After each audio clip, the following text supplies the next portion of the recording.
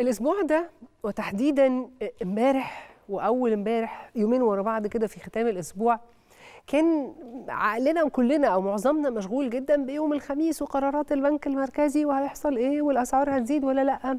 واللي فينا لسه بيشتري يعني اللي لسه معاه فلوس يشتري ونزل المحلات هيلاقي إنه في حالة عامة كده من الهدوء. مش هقول إنه في ركود ولا حاجة لا الحمد لله الأمور ماشية طبيعي كل حاجة متوفرة كل حاجة موجودة في حاجة في حالة كده من الهدوء. وتحديدا في المنتجات التقيلة مثلا يعني لو نزلت تشتري ثلاجه غسالة بوتاجاز هتلاقي إنه يقول لك لا ده خلص لا لسه لا استنى شوية. في حالة من الهدوء دي الأزمة العالمية اللي اتكلمنا عنها لو فاكرين من سنة. وقلنا إنه سلاسل الإمداد هتعطل كتير جدا من إنه المنتجات تبقى متوفرة. ده حاصل بالمناسبة لكن مش مؤثر علينا قوي. الملاحظة الثانية اللي حاصلة ولازم ننتبه لها بقى إنه هتلاقي إنه المستورد تحديدا في, في, في أنواع كتير قليل جدا وده بالمناسبة ميزة وعيب. السؤال الحقيقي وتحديدا أنتوا عارفين بقى إحنا كمذيعين بنشتري هدوم كتير كده فكنا دايما نلاقي إنه في الاثنين وفي المستورد الكواليتي حلوة قوي والمصري يقول لك اصله ده ده اللي موجود حاليا. أنا عندي سؤال تحديدا لكل مصنع مصري بيشتغل على أرض مصر.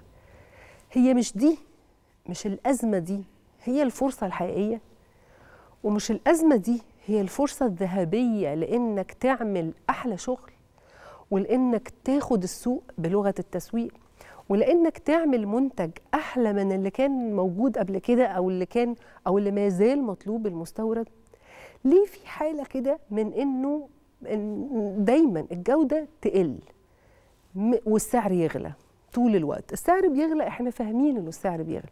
لكن ليه الجودة بتقل؟ ليه لما بندور على الحاجات بنلاقيها منتج ولسه عندنا الأزمة دي بتاعه إنه المنتج ما هوش 100% مش معمول أحسن حاجة.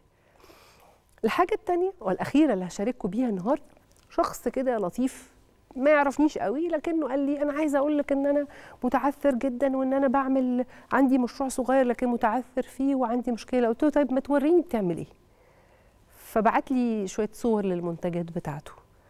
أنا آسفة إني بقول كده لكن بما إني ما بقولش اسمه هقول رأيي بصراحة. منتج رديء.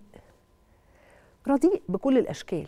والشخص صاحب المنتج ده بيعتقد إن الظروف والبلد والناس هم السبب. الحقيقة الظروف صعبة. والوضع الاقتصادي ده تقيل مش هينجو منه غير الشاطرين وغير الفاهمين. لكن السؤال الحقيقي في كل ظرف صعب وكل ظرف اقتصادي تحديدا صعب في فرصة حقيقية للمنتج الوطني إنه يتطور ويبقى أحسن ويبقى أشطر وياخد مكان كل المنتجات التانية اللي مش متاحة حاليا في السوق. سؤال كبير لكل الناس اللي بتشتغل في الصناعات وتحديدا الصناعات الصغيرة طور من نفسك طور منتجك. إحنا كنا بنتكلم في الفكرة دي حتى على الناس اللي بتشتغل في وظائف اللي مش هيتطور هيختفي. وفي الصناعة اللي مش هيتطور النهاردة في الأزمة دي وأنت عندك كل المساحة وعندك كل التسهيلات كمنتج محلي وطني هتتطور إمتى؟